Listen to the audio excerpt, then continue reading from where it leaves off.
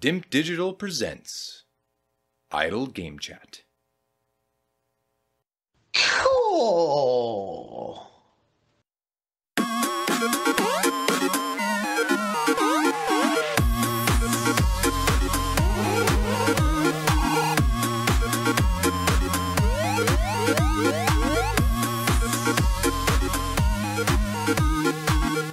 Persona 3 Reload.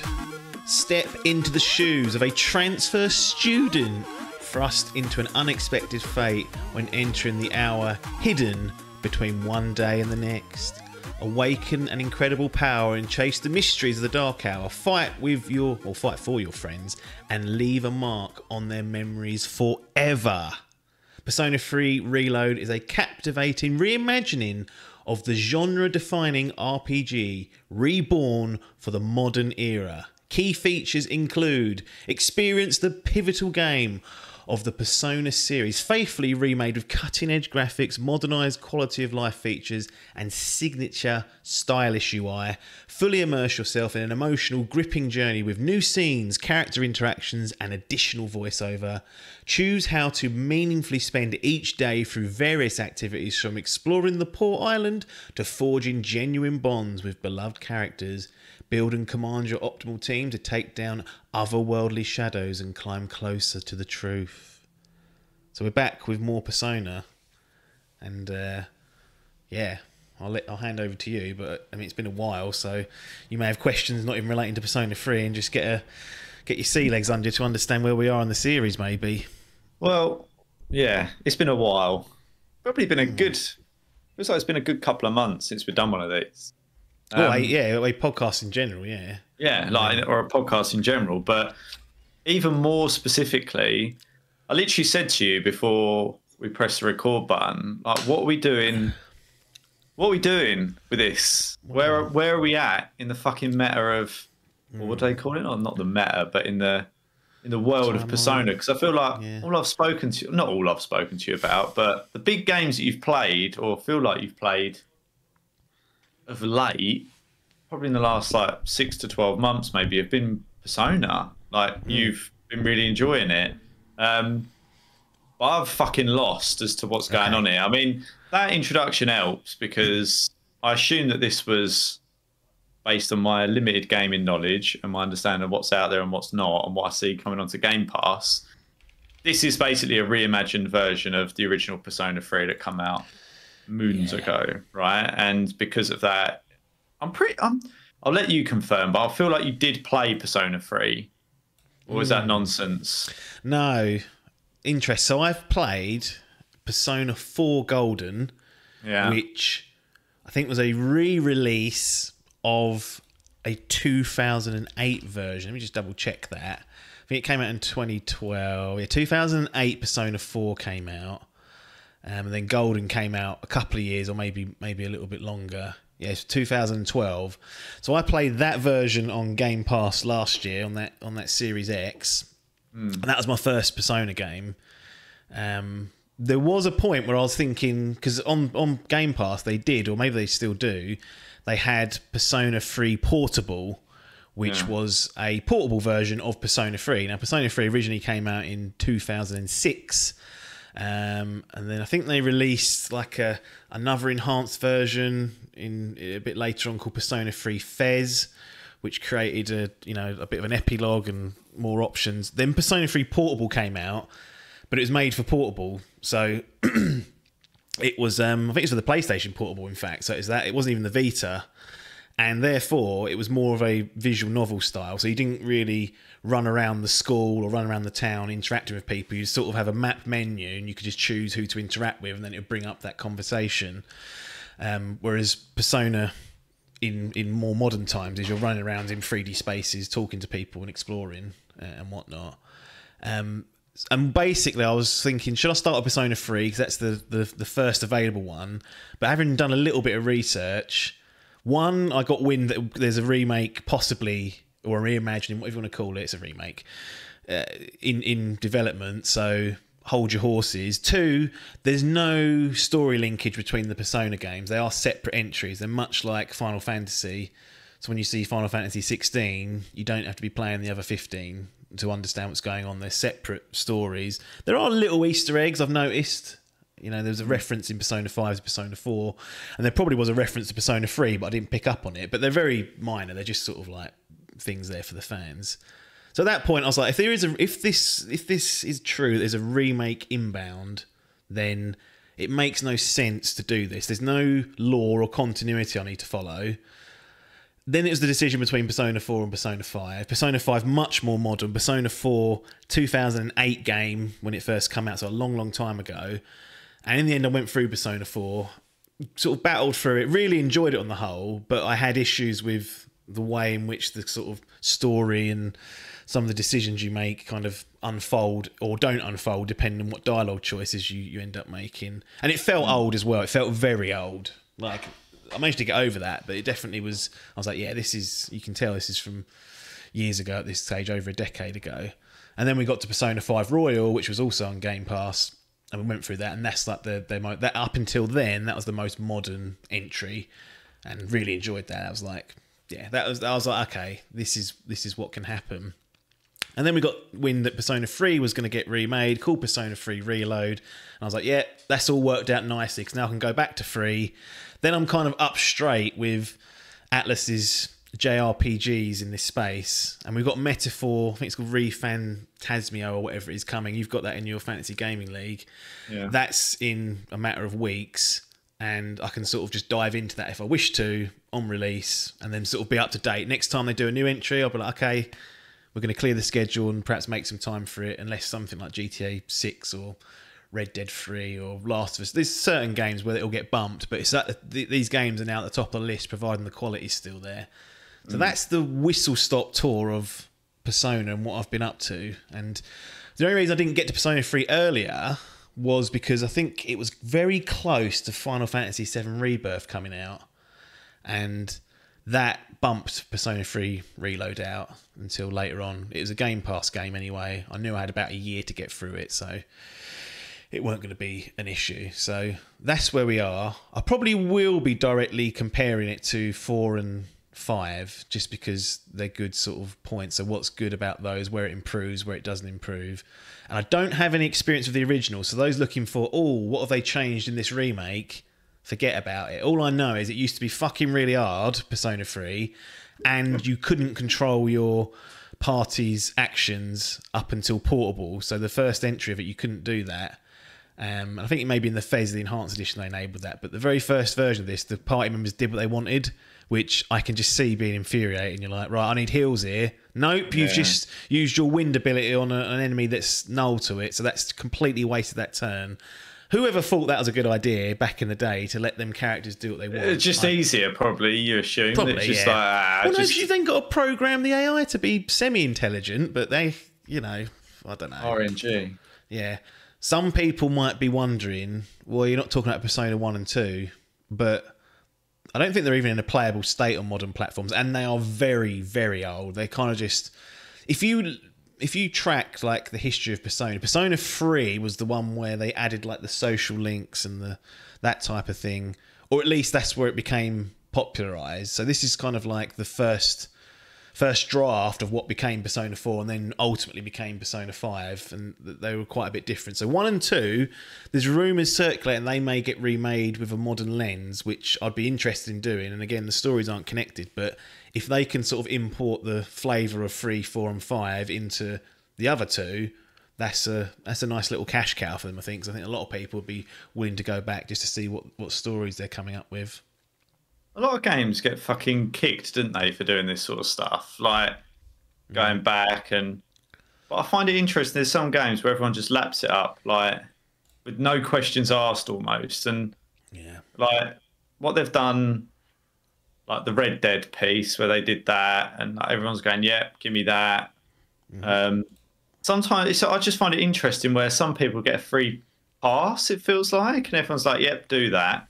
Yeah. Um, and sometimes you feel like studios get kicked for for going back over old ground. But I suppose with the way that Persona has developed as a as a game, people want to play the older stuff, but with the newer lens and mechanics and more modernized stuff on it because it's not something that comes out like fucking yearly or whatever. Like you've referenced the games are like four or five years apart or more in some cases. Like so Yeah.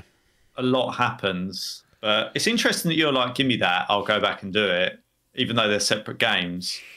Yeah, it's just it's just an excuse to kind of get filled in, I guess, because you hear a lot of hype. Everyone's got their favourite out of three, four, and five, and um, some people like three, some people like four, some people like five, and they've all got their own perks and, and drawbacks. They're very similar in you know. Once you get in there and understand how the games work, you can see the design is is, is quite mm. similar when it comes to like social links. But they do have a distinct sort of tone or theme, I guess, behind them. Like Persona 3 is actually quite sad in many ways, and whereas something like Persona 4 Golden's more about, I don't know if you remember, you're like you're trying to discover this person who keeps kidnapping people. So it's more of a mystery. It's like finding the truth. Um, and then Persona 5's like injustice and fighting up against that. So, but this is much more dour, I'd say, in tone. It's you know everyone's seemingly had some sort of trauma that they're going through, experienced loss in in some way, and that's kind of what tends to seemingly bind all these characters together in some way. So it kind of explores that part. So it's not a, I wouldn't say uplifting would be the term to kind of describe this. So, it's what I say about games. Like if you want to just enjoy your game, just go and play Astrobot or something. Like you just sit down and be be happy. But I don't know. Like I say, you're not sitting there smiling at Schindler's List, laughing your way to the bank. And this is this is brilliant. You're mm. sort of just experiencing this awful story. It's just interesting to sometimes explore those themes. Well, yeah, I mean, I think enjoyment isn't just about smelling the roses or whatever it is, like, and then- and things just being all happy clappy. Like there is um, enjoyment in a way. It sounds a bit like sadistic, but like experiencing someone else's sad story or working through that and understanding why they are the way they are or why certain things have turned out to be that way. Look at Bruce Wayne. Wouldn't have been who he was if he didn't lose his parents, maybe. So No, there you go. That's that's the ultimate trauma. that's the ultimate trauma, yeah. But interesting. So Help that you're a billionaire though afterwards really does help when you ain't got to worry about working for a living after all that. I'll, I'll tell you that for Bruce. He's he's lucked out there. That does help. I don't care Well, what you it- say. it- he's had feet up. and having a butler, but just out good old Alfred just roaring around, no problems at all, looking after him is is a real help as well. So he had a couple of leg ups, but Yeah. um, yeah, I know what you mean. It is it, it, it's interesting as well that this is.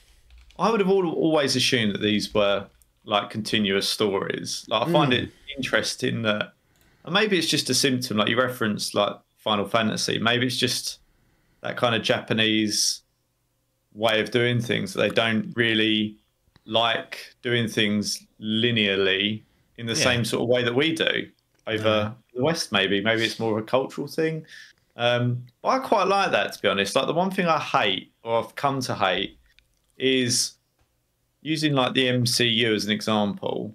Like, I'm even Yeah. annoyed at the fact that they've done Ah. a Joker, like um, not the Joker, Penguin spin-off series. I'm like, you're fucking dragging me into it all the time. Yeah. Oh, you don't Yeah. need to. Yeah, but you do, don't you? Like because you're going to miss something, and they're going to be nods to things, and you won't Yeah. know what they are. So it always winds me up that everything is becoming ever more so entwined with things. Like apparently, even in House of Dragons, there's nods in um, Game of Thrones. So if you go back to watch Game of Thrones again, you'll notice things that they've Yeah. done nods to in House of Dragon. I'm like. Well, now I've got to watch all fucking that shit again at some point, theoretically, if I want to understand what. The, like, so it's like a never-ending cycle of this stuff, and Yeah. sometimes it annoys me with games when they do it as well, because you think, ah, like, Yeah, I mean, there's it's, it's. I mean, I don't mind the Easter eggs and things like that. I think that's cool, but there's some. It, like, I don't know if you saw like Space Marine Warhammer 40k two has come out, Mm. and it's set like many hundreds of years after the original. But I think you play the same character, and they're like, "Well, you don't have to play the original." I'm like, "Well, that bloke that you're telling us to control, you kind of do, don't you? Because he's he's going to reference things. They're like, well, you don't have to. I'm like, well, come on, don't be Yeah. Don't be silly about it. Why if you want to do it new, just get a new character. I mean, I don't know if anyone's crying after this bloke to come back. It was fucking Space Marine. It could have been any grunt, couldn't it? In, in many ways. Maybe I'm speaking ignorantly, but things like that. I'm like, you you had a chance to really just call it Space Marine X, or you can call it Space Marine Two and just say it's just the second entry into this franchise. It's set many years after, but yeah, it just uh, it it is annoying that things these days seemingly you can't get away with just sitting there and watching a film and being done with it. It's all it's all this extra media and other stuff to go along with it. So I do appreciate games, although I think they shouldn't number themselves if they're going to do that. I think that I still think that's yeah, stupid. I agree. Yeah. But the fact that they don't do that and then actually don't actually uh, require you to, to play the others is is is a good thing. Um, still keeps Ronnie up at night though because the numbering, you know, one and two are still lurking, even though all research suggests it's not needed, isn't it? We'll never know. Maybe until they remake them. So let's get onto the onto the meat of things then. So we've done the genesis, we've done the how you got to it, we've done the order. Um, let's just cover how and where you played it. So I, th- I, think we alluded to it. Game Pass jobby, right? On the on the Xbox.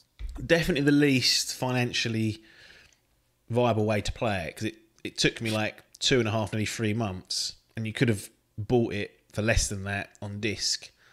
So this Game Pass malarkey, people keep telling me you'll always make money. I'm like, well, you won't if you play games like this on it. Not better off- now. They fucking keep booting that price Well, up as no. well, and there's fuck all to play. It's making it really difficult to get any val- value out of it. I must admit, it's like fifteen That's quid a month next year. When mine expires next year, I've been on like a thing that I'd renewed for age on like lower prices. Yeah, yeah. The day comes to me and asks for fifteen pound directly. That's the day it goes. So, you know, that's probably going to get binned at some point because it's just not getting used up to standard. Um, No, the I good thing they did actually with this one, which is very, very unlike Game Pass and unlike what you'd see in a subscription service, is actually a DLC, like a, a expansion or they call it an episode, I think it is, that came later. It's only just recently released, and that is included in Game Pass. Normally, you have to pay for that, so that is one of the few times they've kind of sat there and done it. But you know, it's uh, it's not a. I wouldn't recommend getting this on Game Pass if you're not going to burn through it quickly, um, because you'll you'll be on. Like it took me 100 hours. Um, people saying you can get through this in like 40 to 60 hours. That's just complete lie. If you hear that, don't. It's 80 hours minimum, I'd say. And if you're still getting through it at that pace, I don't know what you're up to. You must be just roasting through dialogue or, or whatever. I mean, I am slow to be fair, but I was going to How- say you you. It's always tricky with you because I think right. How many times have we, as Ronnie, had to get comfortable with stuff and, but generally speaking, you and I are not usually that far off. And I think some games as well, I've actually taken longer than you. Yeah, So- that has happened. The thing with the persona is you have to play the days. You can't just Oh, skip there's no through. choice. Yeah, that's true. Like you have to play the days. That you can't just skim through it. Like you have to go and do something. Other, I don't know. Like how long to beat's got Like, is so- sixty three hours main story. I'm like, what? Yeah, That's, That's insane. thinking. And also because it's a JRPG, like are you are you leveling up enough? Like you, that's the thing about these games. You, I'm always concerned about being caught pants down towards the back end where I haven't put the work in. Hmm. So maybe I over leveled, but it didn't feel easy. I mean, I didn't die a great number of times, but Hmm. um, it wasn't like I was just one shotting everything. Like it was still tough. Still had to keep my wits about. I only had it on normal. Maybe people. I mean, are- you're not you're not wrong though. It says all styles, 82 hours. Like Yeah. That's the I assume what they mean by the average. So completionist 95 hours there's still stuff left on the table i definitely didn't completionist it so i don't, I don't know what the people are up to maybe it is maybe you can shave 10 15 hours off mine but yeah it's a lot lot of time though to shave. Like hmm. yeah I can't like I said, imagine you are spending 10 to 15 hours fanning around. Like that's just that's a reasonable sized game that you've just added Apparently. on there. Like i said you can't really skip through things the only thing that will slow you down is going to tartarus more often which is the dungeon like 'cause that's the that's the time sink really because you can spend you could spend four hours in there in one run and you're only going to tick over the day when you when you leave so Yeah, that's where the time sink is. So maybe I spent too much time in there, but again, it's a. I want to get my 15 up, hours. Well, probably not. Maybe that's what they're offering. But um, yeah, so it's a Game Pass jobby, taken over two months to get through. Um, I've kind of got some topics here, and I don't know if you would prefer this or if you've got any other questions before going into it. But I've got story, characters, combat, Tartarus stroke dungeon, social life, and then quality of life improvements or thingamajigs that might help. So okay, you can so, start whenever of those, or you can just go off on a tangent. I don't, I don't mind. You start where you want to start this time. So you've got a list of your topics. Why don't you start talking us through those, hmm. and then that might pro- provoke some additional questions as we go through it. All right, let's start with story. Yeah. So by the time I got through it, I was satisfied. Right. Okay. But definitely very, very pedestrian during like the middle section of the game. Like if you, this is not an exact science, but if you were to split the game up into like thirds or like acts, as people do, the, the headline is it starts strong, mm. lets you really get acclimatized to the game, the mechanics, and that's a bit pedestrian. I, I don't mind that early on, but it does kick you in quite early and sets things up nicely. So that's mm. that's okay. But then there's just like months of like in-game time where you're just going through the motions. There's not a lot going on. There's certain events that you know are coming or are happening.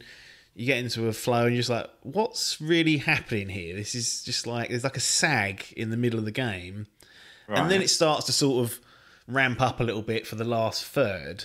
But the middle bit really did feel like completely like slow. I was like, what is. Maybe that's why it took long, is I think I spent time not really hammering it because I was like, you know what, I don't know what's going to progress if I sit on this for two hours. Probably not a lot. And it right. kind of slowed me down a little bit. They get there in the end. There's definitely like a middle chunk of the game where there ain't a lot going on, and it's... Do you think that's because they might be uh, expecting you to be doing some leveling up or some grinding or doing right. some t- in the middle of it? Like there might be, I don't know, I'm speculating, like that they've kept it sparser to allow you the time to go off and do this dungeon yeah. thingy or whatever, or, or to grind a bit. I don't know. I'm speculating. Like, do you think that's possible? It is possible. I just I just think when they came to redo this, they clearly wanted to expand it in some way. Yeah. But the story is the story, and I don't know if they necessarily thought about how to keep the momentum.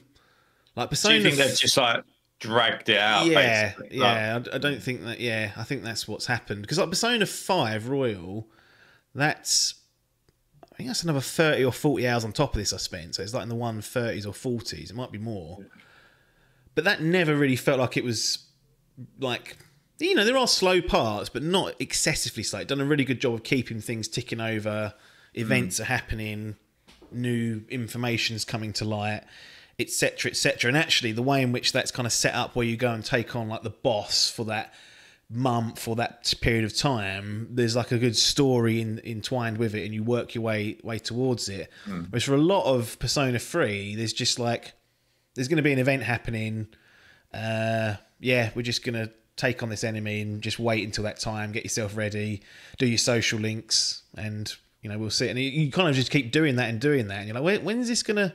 What's going on? And obviously, you it's get the answers, it, but yeah, it's, it's like, because they've told you saying it's going to happen. So you've got this like anticipation. Mm. But by the sounds of it, goes on longer than you want it to. Yeah, and you'll go through that cycle a few times, and there's not right. really a payoff at the end of each of them. Difference with Persona 4 Golden and Persona 5 Royal is every time you sort of tick mm. off a big enemy or a big sort of segment of the game, there's some sort of payoff. Yeah. Whereas this felt like there was many months where it was just like, okay, on to the next one. It's like, oh, no, no new party member, no, no sort of information coming to light about what's actually going on here. Just we're going to do another rotation of this, and we'll see you again in you know a few weeks or so. It's like okay, so it, it definitely struggles. I mean, I said it gets there in the end, but it feels a little bit unbalanced. I don't know. It needs to kick up the arse, basically. What you're saying, it, it needs yeah. Along, and it, it isn't doing the shivvying. No, yeah, it's a strange conundrum, but in games this long, there's always a risk of that. I think they feel like they're, they are sort of pedestrian, but they kind of pulled it off with Persona Five and Persona mm. Four from that perspective. So the blueprint was there. Then again, this was the first one story wise and lore wise, like their first sort of go at this. So maybe they just sort of unbalanced had to go into the main story and couldn't quite correct it. But it's it's perfectly fine. It's just not as uh, not as impactful as perhaps the other two.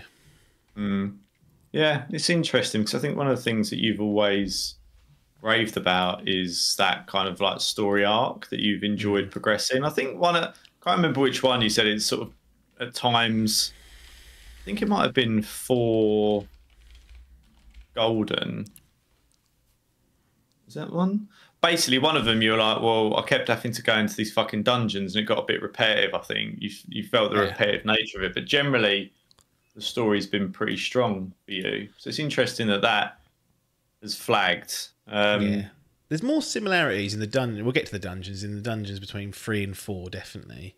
Um, they absolutely with five clearly made a conscious decision to make those dungeons more unique and as you go on less repetitive, and they pulled it off.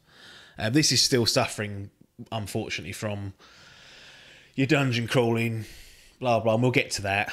Um, but I mean, I think they're crap anyway. I, I, I don't think there's one dungeon crawler that I've played. Been playing Diablo 4 lately, and I'm just sort of like, I still don't get this. I just don't, I don't understand what it's all. I, I don't understand what people are getting out of it. Like, uh, I, I do a little bit, but not to the point where people just, bucket a hundred odd hours in it. yeah. I'm just sort of like, I don't, I don't, I don't get it. But um, anyway, we digress. So, okay, so topic one, story. Yeah, might as well tie the characters in because that's kind of Yeah. close, close by. Yeah. Um, again, this is where they one of the strengths of Persona Four and Five is these characters, these people that you meet, um, how you kind of bond with them. It, it does again. It kind of suffers from the story being slow in that your understanding of people takes a bit longer, and again comes comes to life in that in that sort of last act or that last third. And when I say last third, I'm talking dozens of hours here because the game's so big. So it's, it's not like in the last hour they go and crap everything out at you. The uh, the last third is a, is a big chunk. What I'm referring to when I when I say that. So don't be worrying that it's just going to crap all over you at the end. It's it's it's like three separate games in one if you want to look at it that way. But it does suffer again that middle bit. But again, it's similar to the story. They kind of get there to the end and that's one of the main draws of the game is feeling connected to those that cast of characters. Now, you could argue if you're going to spend 100 hours with a certain set of characters, you, you've got no option but to connect with them. Otherwise, you would have turned it off long ago. But they are they are well written. The, uh, the the problems they have and your learnings of them, getting to their backstories is, is good, and ties nicely in with the overall kind of story as well, which gives that some meaning and and purpose. So, yeah, they pull it off again at the end. It, it just kind of has that same suffering of the sag in the middle, um, which is unfortunate. Yeah, it's disappointing. I think when you're spending such a long time in something like that, like they need to if you get if you're asking this time off for me, you need to make it feel worthwhile. Mm. Like and I think one of those games where you know there's probably still a lot to do and you're like, fuck me, like if this don't pick up, like this is just gonna die a death here. Yeah. So, and to your point, you're saying the middle third can last probably like, well, if you spend 100 odd hours on it, you know, 33 hours, like a literal third. Um, yeah.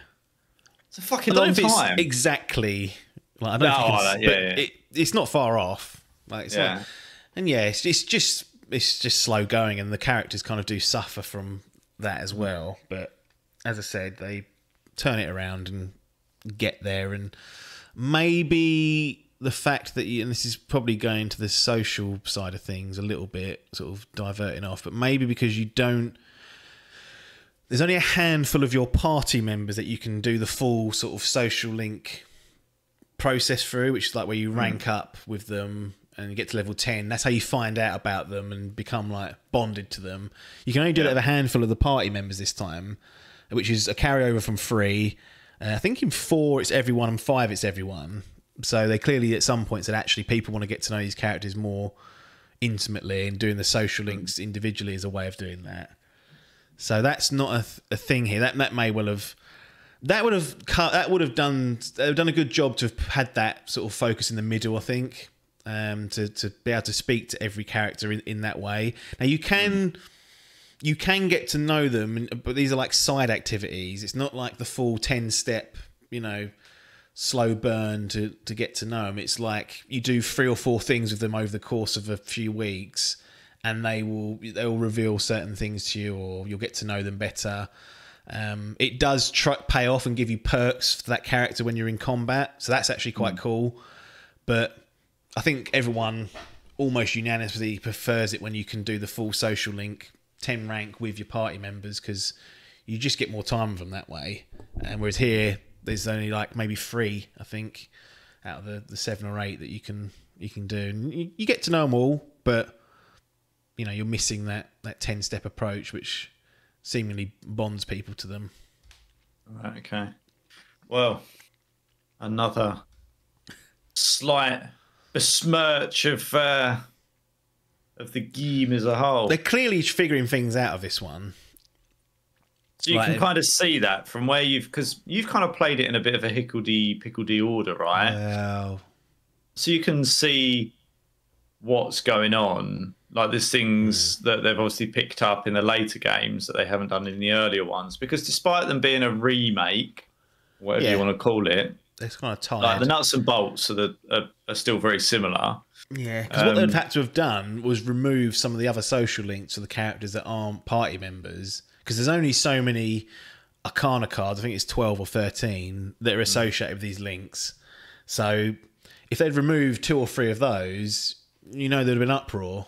Oh, Hmm. you got rid of those, fuck! Oh, I can't. And it's like you, you couldn't have won. It was what it was. So they kind of had to commit to it, and they do try to get them on side with that sort of those side little quests where I don't know you, you sit down and watch a DVD of them three or four times and they'll start to reveal certain things about themselves. And at the end of that sort of third entry you'll they'll get a stat perk. They might it might reduce yeah. the amount of SP they've got to use in combat and things like that. So they're worthwhile doing just for the mechanical combat side of things but that's kind of your opportunity to get to know the other ones. And yeah you can see that there's by giving you a handful, people clearly the feedback was no, we want to get to know all these people. That's what's important. So they they did correct that with four and five. Do you miss? Hmm, how do I phrase this? Do you feel like because you've played those later iterations, it sours the overall experience going back? Whereas if you'd have played this one back in the day or whatever or before, do you think it would have been as, I guess, noticeable? If that's the right word. I think I played it in the right order because I think Oh, playing. cracks on me. I said no, Logan. I've I'll done back it right. myself here Don't for once. Yeah. the, the sole reason being is if I'd played it, I'm trying to think of what the optimum way of playing it would have been. Like, because if you play this, if I waited, so, so I was like, right, I'm going to wait till Persona 3 Reload comes out, then do 3, then do 4, then do 5. 3 would have been fine. I'd gone for it and been like, oh, yeah, this, is- this is what it is. Mm. I'd have then gone to 4, which hasn't had the remake, hasn't had the quality of life improvements. It's very archaic in some ways with the onboarding. I'd have been like, what is mm. this? Like it would have been a complete and utter. I'd have been out of out of water completely, struggling. And I think I would have hated that game potentially because Right. the the amenities that this game gives you, in some ways, are better than five because it's come a bit later. And again, they've tweaked things and, and made things mm. better for you. That'd have been a real shock to my system. So I think. I think just playing the oldest game, as in the version of the game that was released the oldest, which was Persona 4 Golden at the time, Yeah. and ignoring 3, knowing there's a remake coming, kind of worked because it meant I got the, the hard bit of bad onboarding, lack of explanation, not really knowing how the game operates. Sort of out the way. Then when I went to You five, started with the shittest version. I mean, shittest is the wrong word, but Yeah, like I would say version. so. Yeah, I'd say. I mean, it might be a better game overall, better story or characters, but certainly if you just boil it down from a design and a nuts and bolts and mechanics, like it, it is. It's the again, it's the 2008 game, so the Yeah, struggles that they were putting in back then, like oh, you know, no real checkpointing during your dungeon crawling. You're like, what are you?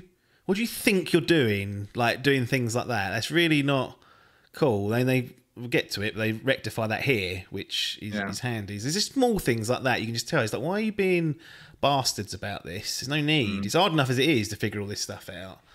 So yeah, it would have just killed the game. It would have been really hard, I think. Um, Right. Now I could have waited for a Persona 4 remake, which may be happening, may not, but that's further on down the line. If they do do You can it, only, yeah, yeah. I mean, if you want to play something, because you started out, did you start out on five? I'm right in saying No. that you played, you went four, then five, and then back to three. That's it, yeah. Because it was, it wasn't when the games were originally released. It was when that version of the game was released Yeah. that I thought, you know, I'm going to go with that. So, I, I just, I'd clocked they'd made so many improvements from five at least, and mm. thinking in my head they're going to make so many improvements to three that it makes sense just to backburn that and start with the most playable old version of whatever Yeah. title, even if it is four and not three.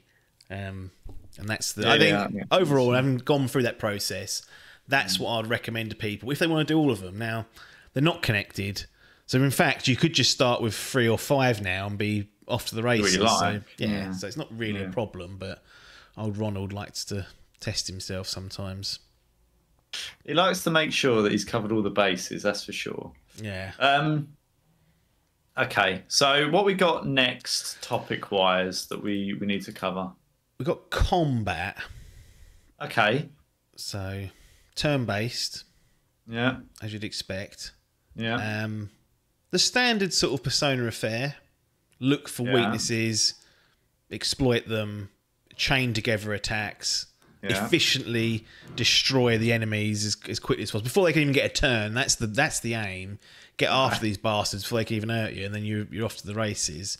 yeah. But um, it's really slick. Like it's really slick. So the, the I felt like there's a butt coming. Sorry. I Oh, was, no. the, the reason I thought you were going turn based, I was like, right, yeah, obviously, and I was waiting for you to go but like, and uh, crap on it basically, but you didn't. No, no, no. This is this is really good. The, the, the only thing missing from five to three is what they had called like technical hits. So there's certain ailments you can drop on an enemy, so you can confuse them with a magic spell or certain items. And what Persona Five had was an opportunity to follow up on that with a certain type of um, uh, attack. So I'm making this up, but say if someone's confused, you could get an instant critical if you hit them with an ice attack. And there were like these little pairings that were there throughout all the different ailments. If you enraged someone and you smacked them with your sword or hit them with slash damage, it would critical them. There's like there's always instant little small wins you get. That's not there, which I thought was a bit of a strange omission because I've really liked that. And that's something you Right. kind of discover more as you play. But they add in the shift mechanic, which replaces the baton passing from five. So in five, you hit a critical, you can then baton pass it to another person. Maybe they've got a different, you know, maybe they've got shock or electricity, which you don't have, and there's an enemy that's susceptible to that. They use the hmm. shock. Then you can baton pass it to one of the other two members that are left, and just sort of, the way to sort of work around your party and efficiently destroy them. Shift's very similar, but you can sort of go back and forth between members. So once you've used someone, they're not frozen out of the shift. So you can just shift to I don't know, your set, your healer. Then sh- and if you hit another critical, shift back to your main protagonist, swap your persona out, hit. An- it just makes the whole thing flow much better because you haven't got to give up a turn until you run out of, you know, criticals or um, or weaknesses to hit. So that really gets things going quickly. And once you've kind of learned certain enemy weaknesses, you can literally just bully them out of the, the game early on. And the bosses are a different kettle of fish. They're designed to hit hard. They don't really have weaknesses, so you've got to find other strategic ways around them. But when you're going through the dungeons or the, the standard affair, the shift mechanic's really cool. Just really just speeds things up. You hit R RB. If you've already discovered a weakness, weakness, it will automatically select that spell or that attack.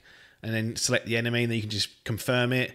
If you've hit someone's weakness and you press RB, it'll also show you who to shift to, who's got a weakness for another enemy. So it does all this stuff just to you just hit that, bang, crash, wallop. You do have to discover the weakness first. It doesn't just hmm. tell you, so that's your sort of fact finding when you get introduced to a new enemy or a new enemy type. But once you've got it logged in, hit RB, bang, bang, bang, and you can slam through um, the, the the enemies quite quickly. The only bad thing about doing that is the soundtrack that plays cuts off the chorus if you do it too quickly, so you lose out on that, which is not ideal. And as we know, the soundtrack in Persona is incredibly uh, popular. And a lot of people like it, so you don't want to be skipping that. Yeah, just as a side, it's it's very good. So they, again, that's three games on the spin that have excellent soundtracks. I don't know if I'd rate it above four. I still think that's the best. Maybe above five, maybe. But we're talking top tier squabbling. It's not even. It's, it's in the same league as those two. So it's yeah, I, very watched streams where people use Persona music as background noise for the streams, and I'm just like, this is mad, like crazy to me. um, so yeah, we get a tick in the combat box. Then basically is what we're saying. Yeah, absolutely. And, and some of the uh, there's this thing called Theurgy, which is basically a special that you build throughout your dungeon crawling. So certain characters have ways in which you can increase that quickly. So there's like a healer on the team. Every time you heal someone, it boosts that bar massively, like by fifty percent.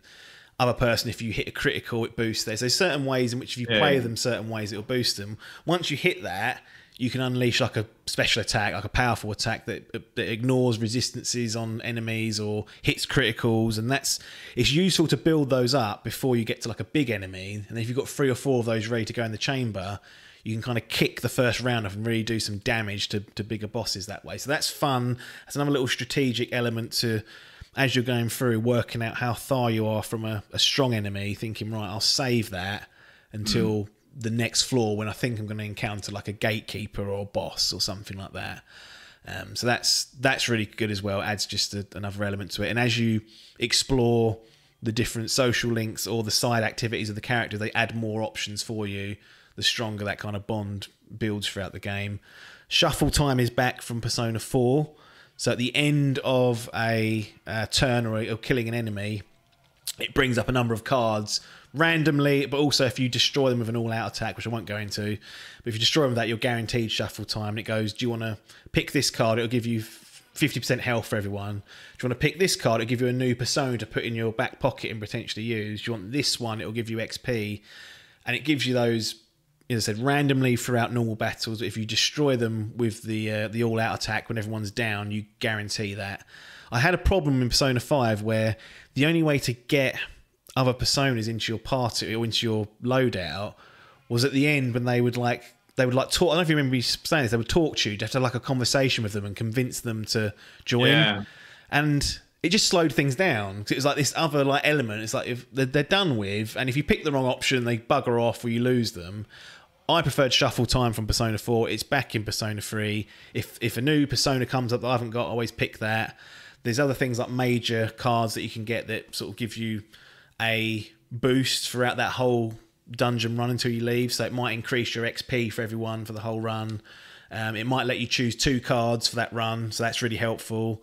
Um, and if you get like, there's normally like, there's by the end there's you know 10 or so of these but in the early goings you can only pick up two then you can only pick up three if you max those out it boosts all the cards that you get after that so it's kind of a little strategic element to staying in as long as you can to take advantage of like oh i've got extra xp on this run. Hmm.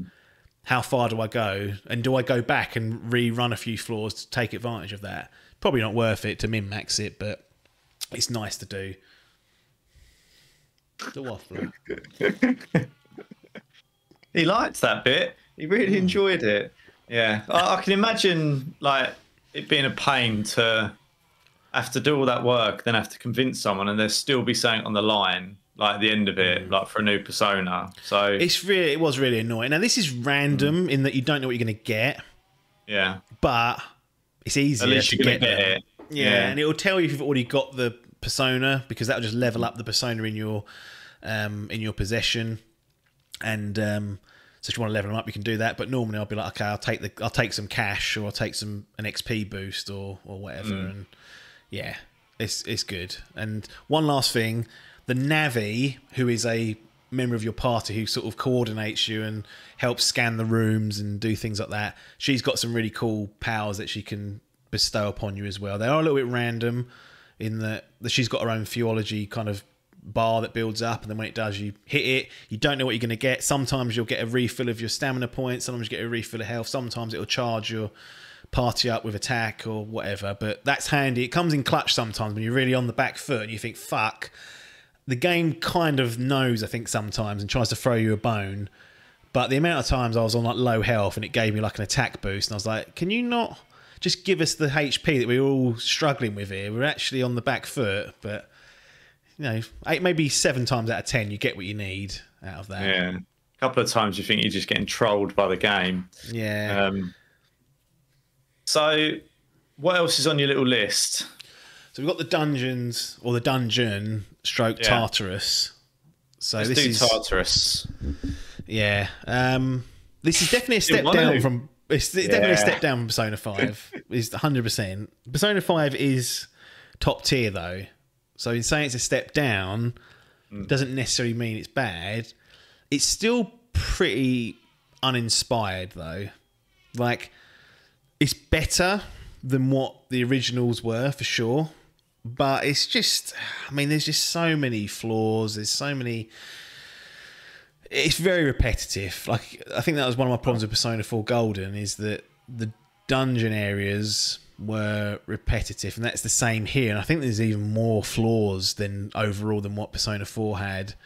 And it's just the same thing. It's just run through the level, hit an enemy if you choose to engage, find some treasure chests, um, get to the next floor, rinse and repeat. You'll get Yeah.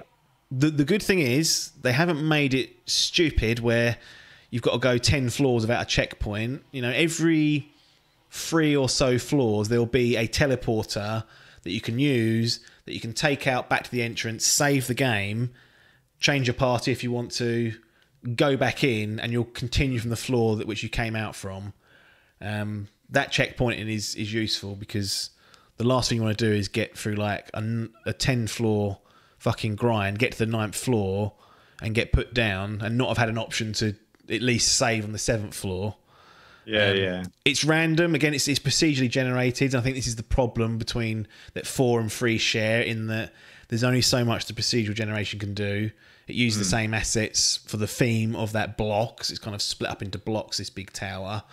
Um, but it's just a load of corridors running through. Whereas Persona 5, handmade dungeons or palaces as they were called with little side bits to do puzzles to to unlock um you could there's verticality to it there was shortcuts you could it's just a different world and this is Yeah, again yeah.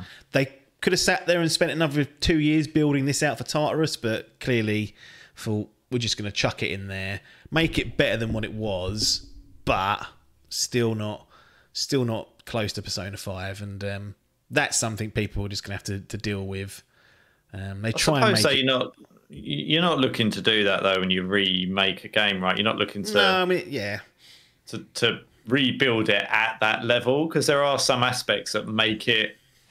And I, Yeah. I think about if you if you were making a game, like you would want your games to show a journey. Like even if you remade them, Yeah. there's some aspects that you'd have to do from a quality of life perspective. But ultimately, the game's a game, and you still Yeah. want to have that element of um, like the core game about it. Otherwise, you, you, what's the point? if they completely changed all that, they might as well just do a different Persona game. Like, why bother redoing that one? yeah, exactly. They offer things like um, uh, boss retries. So when you hit like a boss, if you die, you don't have to go back to your last save. You can, but you can just retry the boss. Um, sometimes it's useful just to die in the first one to find out what sort of attacks they're using, and then going back to your save just before the boss and changing your party composition. Because if you've got someone that's weak to electricity and this guy is just thundering electricity all the time, you don't really need want that person in your squad because they're just going to Yeah, be a yeah, yeah. hindrance. So that that's uh, that's useful because again, sometimes many games will force you to go back to the, the save regardless. Whereas this, you can just think if you got really close, you're like, oh shit, just hit the button, you're back in from the start, and you go right. I've learned these lessons, and normally you'll slaughter them the second time around because you've kind of understood what they, they will and won't do. Um, so yeah, that's that's that's nice. It sort of stops Tartarus being a complete and utter shambles and grind. I mean, it is a grind. It's a massive grind. The amount of flaws in this thing is absurd, really.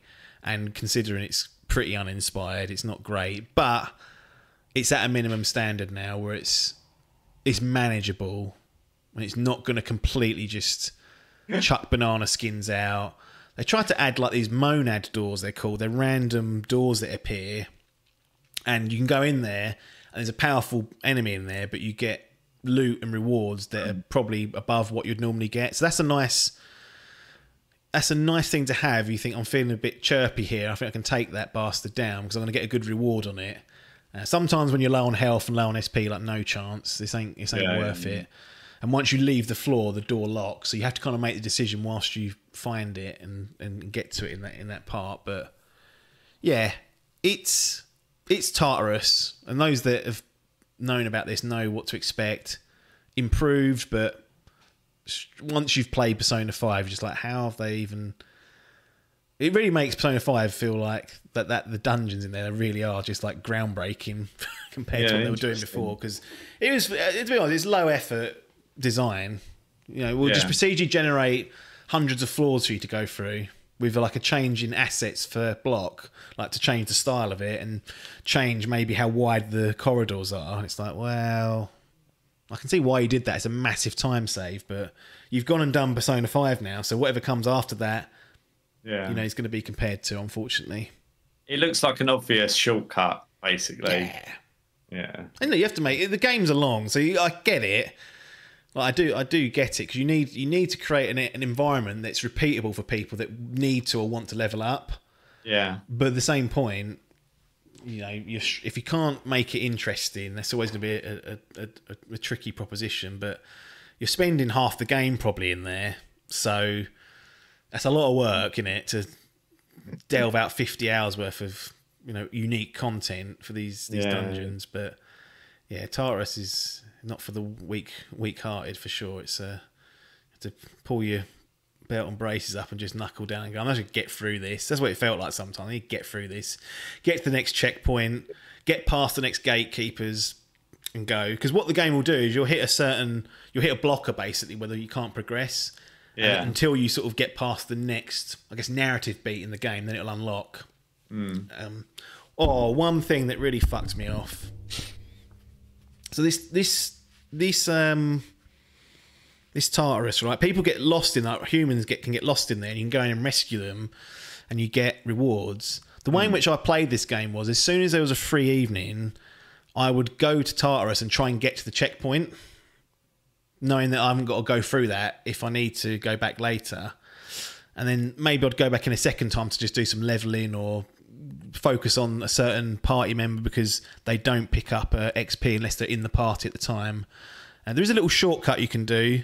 Like if you spend enough of these twilight fragments on chests, unlocking them, it will randomly generate this little clock that you can go to, and then level up your character to your level up your party members, your character's level. So like seven or eight levels, you can just give them. But um, where was I going with that? What was I talking about? They were saying that really fucked you off. Oh, the people getting lost. So yeah, so I'd go in, do that, and then be like, right, I'm going back one more time during this part, and that's it. Then you get a call saying there's people lost in Tartarus. And I was like, okay, that's my call to go in now. Go in, rescue those, level up. That's my two times done for this sort of period.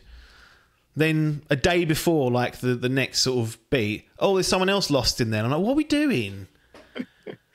just put them, just put the lost all in one go, so I know I can go in there and efficiently clean them out because they've got a time limit on them.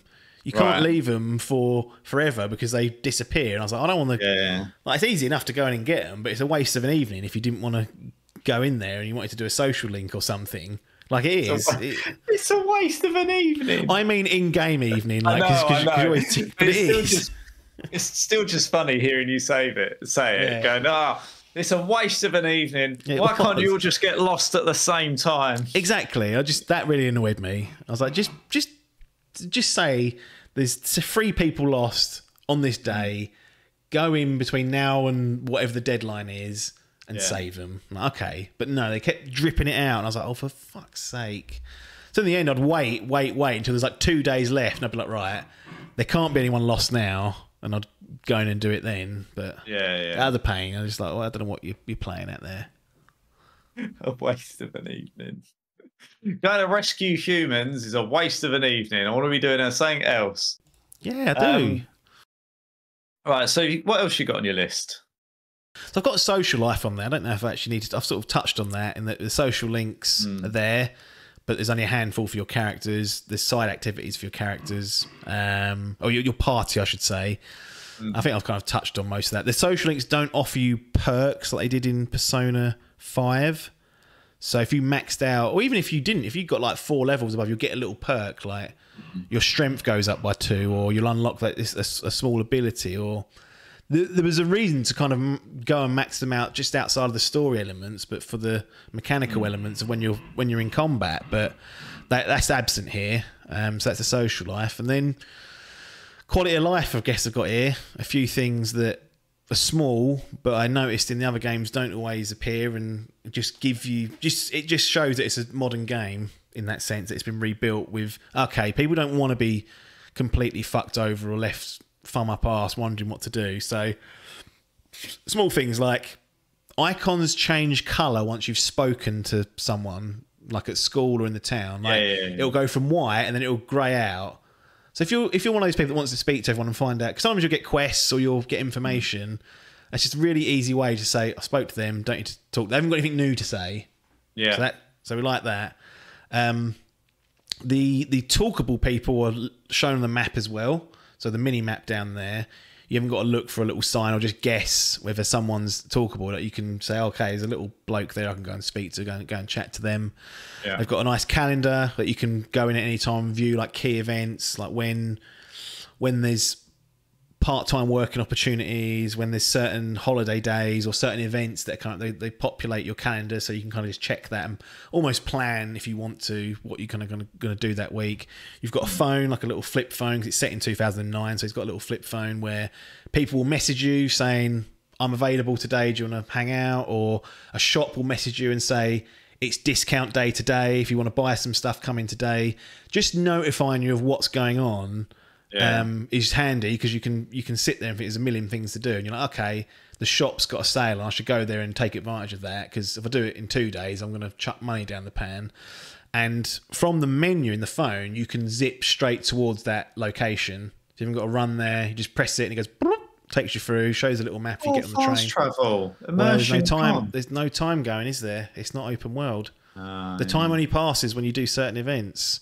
yeah, That's how you get away with it. Um, and there's a rewind feature. say you, I don't know, say you waste, you did a week and you're like, ah, I fucked that up. I wanted to do this social link, that social link. You can hit rewind. It'll, it's got like seven or eight slots where you can go back to other points earlier without having to have a save there.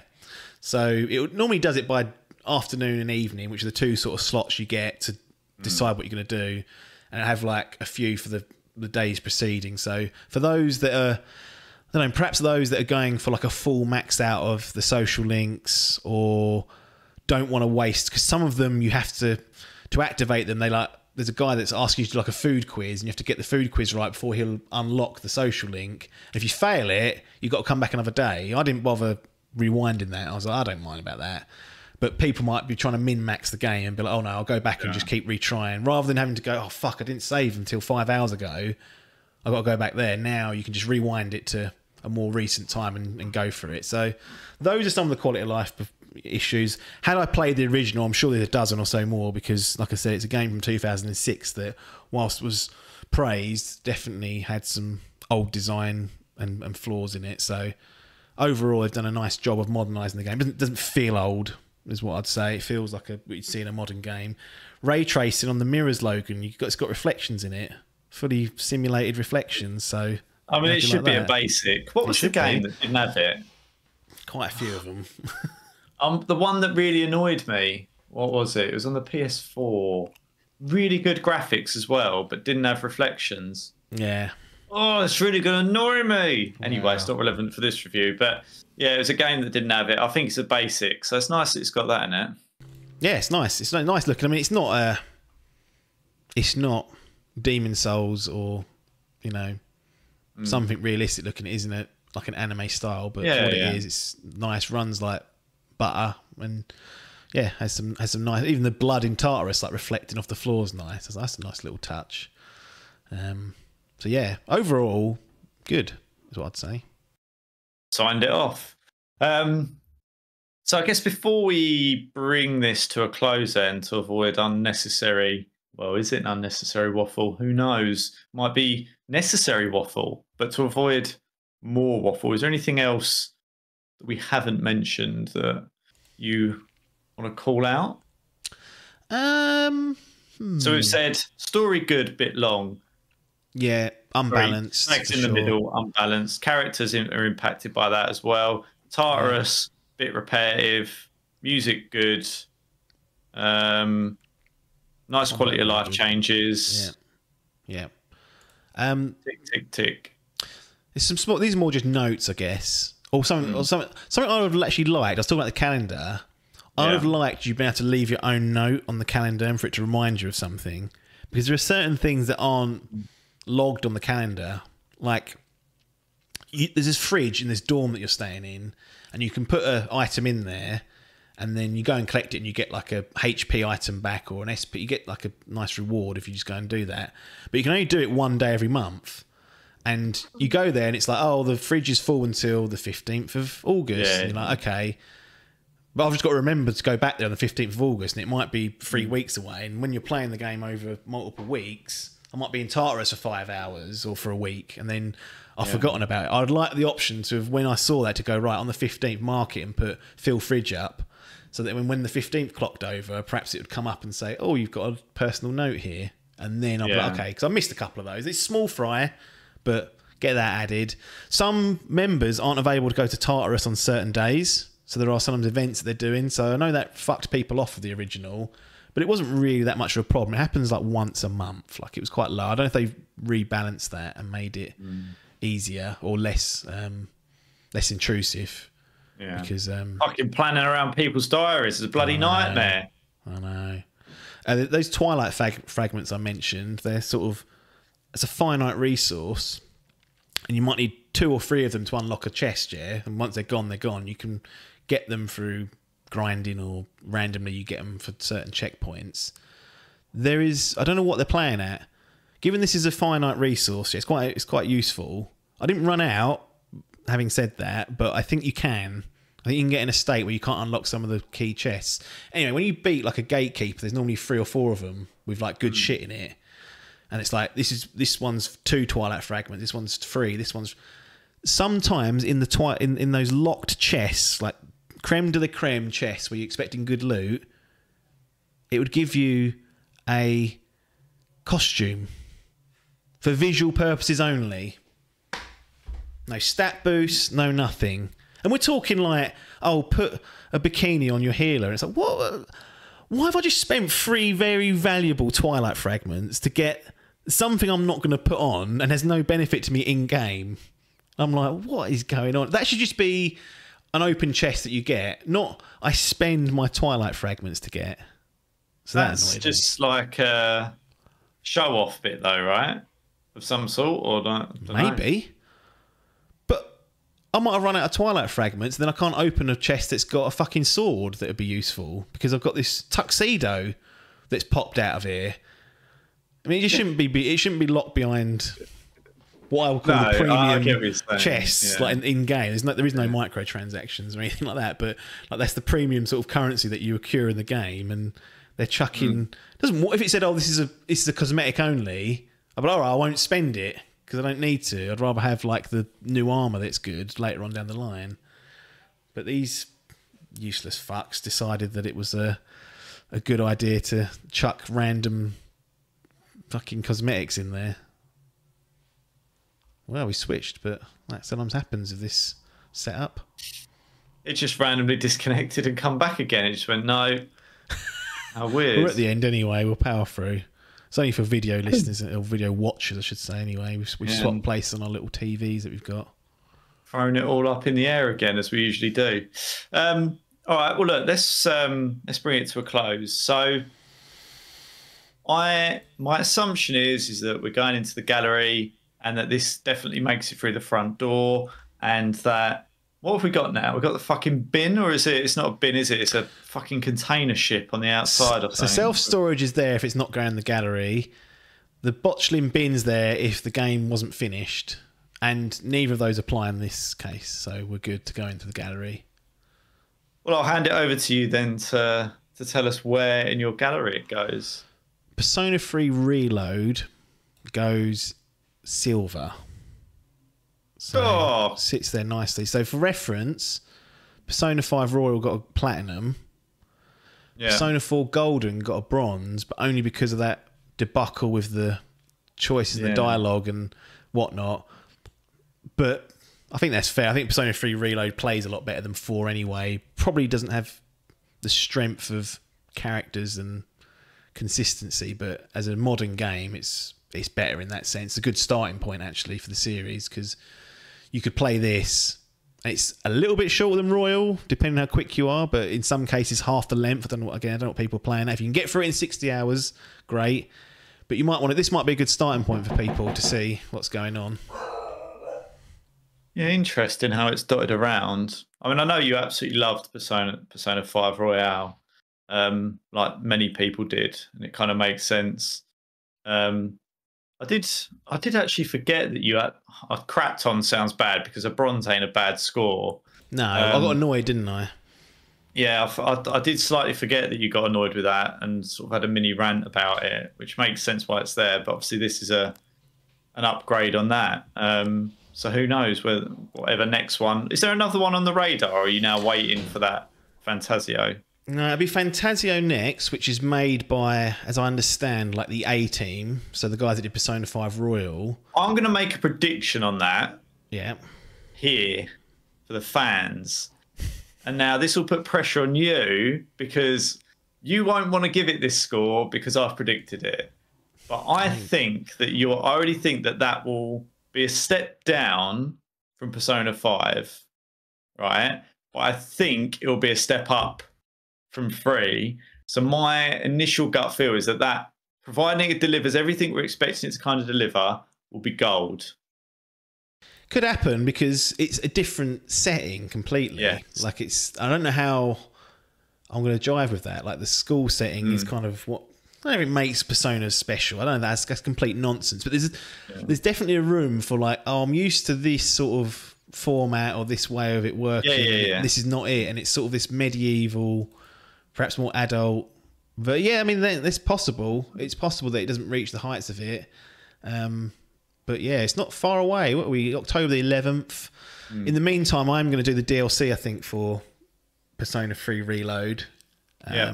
And then it's ticked off. That's controversial for, for reasons I'll probably get into if and when I finish. Well, I will finish it and come back and report on it. Um, and it'll be interesting to run through that and see. And then that's going to be a lot of JRPGs in a short space of I time. I did just but- think about that. If you're going to go and head um, into it pretty quickly after release, if not on release, like you're putting. It's a bit of a concern. It's what I I think I did this with Spider Man, didn't I? Where I fucking wore Yeah. myself out and then I couldn't go and play did. it for a bit. Yeah, I was like, oh god. That So, yeah, second one it's- weren't up to snuff, though. I don't think. Well, I think, regardless of the burnout factor, that wasn't. I felt like it didn't hit the heights of the. No, I, I but th- this is the thing. It just throws it into doubt. You're like, yeah, yeah. after just going, I was really hyped for it, and it didn't hit the heights. You go, was it just because I was already half burnt out from doing 30 hours or whatever, 40 hours of of Spider-Man before? And in a, a lot of ways, it is going to be rinse and repeat with some changes. So, Yeah. um, yeah, I don't, I don't know. I mean, obviously, this, this is quite different to that, and there's there's a lot more to it, but um, it is a risk just from from the brain's perspective. But there's some games you just don't get worn out from, right? I Yeah. think that's also a distinction to make. I mean, I could pick up Rocket League every day or whatever. I don't, Yeah. I don't particularly get like worn out. I get worn out in sessions, but I don't. I don't sit there going, "Cool, I need a break from that." Yeah, So yeah. I mean, it it's, it's one of those. Things. I did do Persona Four Golden and Persona Five basically back to back as well. Hmm. So that has been done. This will be a similar Yeah. effort. So it's it's doable. I think it's important to have something else to play that isn't Yes. as taxing. That's why Astrobot's been really helpful because even if it's just at the end of a session with Persona 3 Reload, I'll just do one level on Astrobot, cleanse the palette. palette. It might be half hour or less than that. Yeah. Maybe I'll do two levels or whatever, and then come off it. So it's kind of giving that game some more life. So I'm not just burning through the game, which you could do. Mm. And it's such an easy pick up and play that you know, if I, if I don't pick it up for three, four days, I'm not going to forget the story or Yeah, like, oh, yeah. I'm rusty on the mechanics. It's not like Mario's a bit different in that you kind of learn all the different long jumping and the cappy stuff. Like you kind of need to, you actually need a level of, I Muscle think, of- memory. yeah. Whereas Astrobot, I don't think you necessarily need that because um, Hmm. each level kind of has its own different theme, which is a strength and a weakness in itself. But that's helpful as well. I think I've learned this whole you have to have one game only. It's good. Like if I'm playing The Last of Us Part Three, there's no need to have anything else on. But for big long games that take multiple months, it's handy just to have something to dip into on the rig that's low low stress and just a complete different like, I don't want any story. I don't want to be dealing with any I don't want to be dealing with more heartache. So something like No, Astro you Bot, just want something easy or something Multiplayer games are good for that. Like, yeah, like yeah, the yeah. Hell Divers, if that was still kicking off again, that would have been a useful. Yeah. Which I think I did when I was playing Rebirth. I think that was Yeah. going on at the Yeah, same time. So again, that was useful. So just having, I've kind of got to the stage where yes, ideally you have one game on the go, but sometimes you just need something little to to keep you fresh. So we'll see if we can find another one of those if and when I get through Astrobot. Yeah, sounds good. Good. Well, that's it. Persona 3 Reload in the books earns itself a silver, gets into the DIMP Digital Gaming Gallery. We've done a lot of waffle on this game, on this series in general, and uh, I guess we'll see where it takes us for future entries. But nothing more for us to say other than thanks for your time and ta da.